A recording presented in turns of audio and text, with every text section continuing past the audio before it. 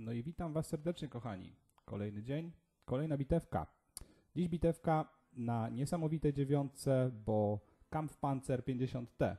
A sponsorem dzisiejszej bitewki jest mój prywatny rodzynek z Discorda, mój bardzo dobry kolega, jeden z najlepszych czołgistów y, na konsoli, czyli Ledzio. Ledzio 75, moi drodzy. No i co? Wy sobie tutaj bawcie się dobrze. Oglądajcie sobie bitewkę. A ja zaproszę Was tutaj do statystyk, żebyście wiedzieli, e, z czym mamy tutaj do czynienia, co to za czołg jest. Kolegę wylosowało na dyszki, e, na mapie koło podbiegunowe. No i co, zaraz zobaczymy sobie, co on tutaj ciekawego ugra. A w międzyczasie powiedzmy sobie krótko o statystykach, moi drodzy. Kampfpanzer 50T, czyli czołg premium 9 tieru. Bardzo dobry czołg. Y, dziewiąty tier.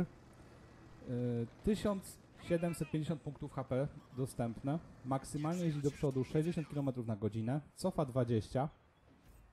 Można by było kupić za 17,5 tysiąca golda, ale można też było zrobić misję. Jak dobrze pamiętam? Chyba tak, już zapomniałem. Mniejsza z tym.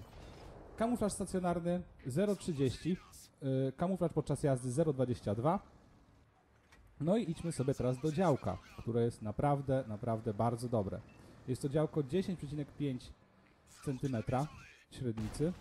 Mamy tutaj do dyspozycji przeładowanie na 9,20 bez czekolady i bez żadnego wyposażenia. Czas celowania to jest 2,3, celność 0,33, bardzo dobre wartości celowania. I mamy tutaj na podstawie pociski APCR, a na goldzie hity. No i oczywiście trzeci rodzaj, no to są pociski burzące. Depresja działa to jest minus 8 stopni, podnoszenie 12, maksymalny zasięg tego działa to jest 720, jak praktycznie w każdym czołgu. No i teraz penetracja. Na podstawie to jest 268, więc bardzo, bardzo dużo. Na goldzie 310, jeszcze lepiej, a na burzakach 53. Minimalna penetracja na podstawiach, czyli na APCR-ze to jest 201, a maksymalna 335. Na goldzie z kolei 232, a maksymalnie 388. Damage, czyli alfa 320 na goldzie i na podstawie i na burzakach może dojść do 420. Powiedzmy sobie tylko tutaj, e, jakie są widełki tej alfy na podstawowych i na goldach, a jest to od 240 minimalnie można przyrysować do 400. Tak, więc naprawdę bardzo dobre wartości są tutaj.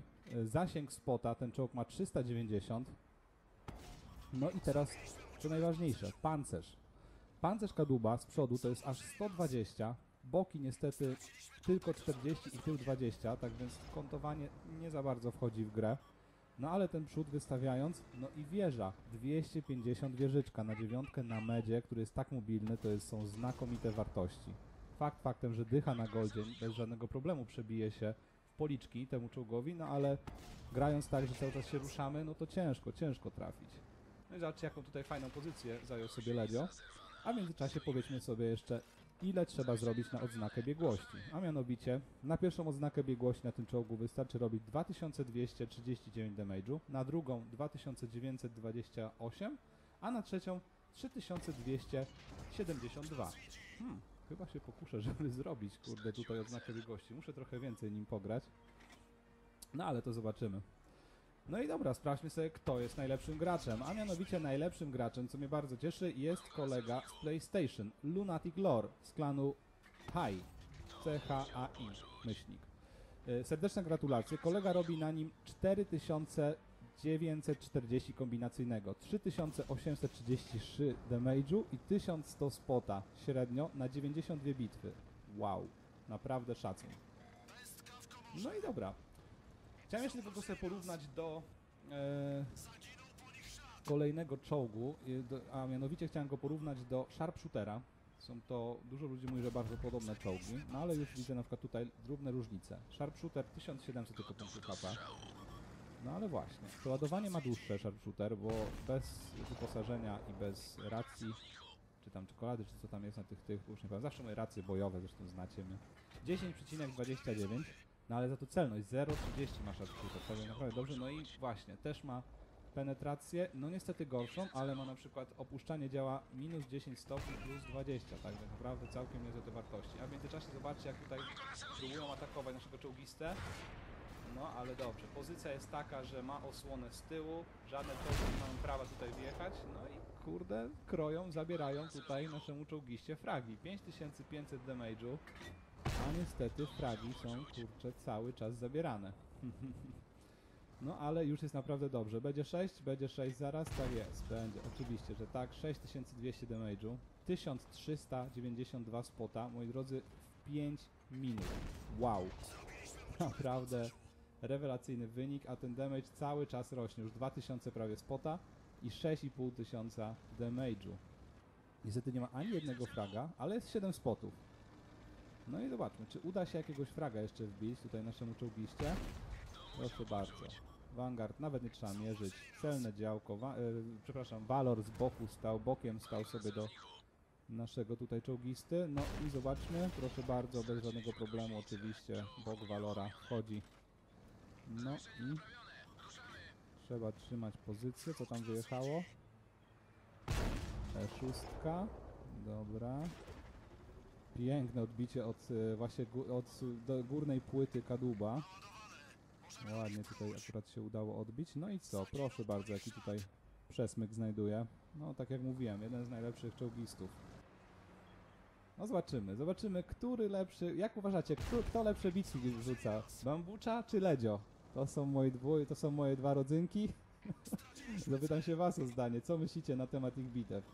Ta bitwa jest naprawdę dobra, no a Bambucza miał też dużo bardzo fajnych bitewek, ale to zostawiam wam do rozstrzygnięcia. Ja obydwóch lubię bardzo.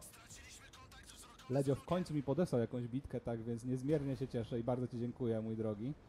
No i zobaczmy, 11.3, 7000, o 7800. Teraz będzie kolejne przebicie. No i E75, nie bardzo, nie bardzo, chociaż tutaj, no właśnie, niestety nie, w garnek nie wejdzie. Ja ostatnio bardziej celuję w E75 nie w garnek, ale tak naprawdę w jarzmo, tutaj obok jarzma próbuję celować i powiem wam, że częściej mi wchodzi właśnie obok jarzma niż tak naprawdę w, w sam garnek e, dowódcy. No i zobaczmy. Valor, proszę bardzo, kolejne przebicie. Taran, jest Taran. E, No niestety to ciężki czołg, tak więc dość sporo tutaj kolega stracił i będzie niestety nie udało się przebić. Niestety nie udało się przebić, ale proszę zobaczyć, to już będzie asysta zagąski. Na szczęście wpadła. No i mamy ponad 10 tysięcy kombinacyjnego damage'u. Serdeczne gratulacje, rewelacyjna bitwa.